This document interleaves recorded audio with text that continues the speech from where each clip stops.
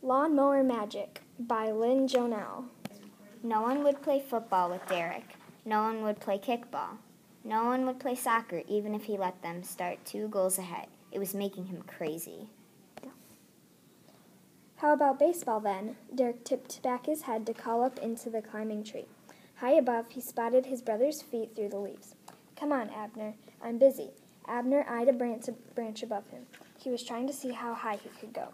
As the oldest of the four willow children, it was his duty to make sure the branches would hold everyone's weight. Besides, if a branch cracked just a little, it might be exciting. Derek tipped his head so far back that his, ba- that his baseball cap fell off.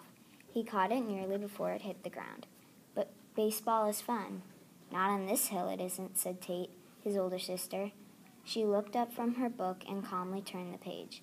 The ball keeps rolling down to the river.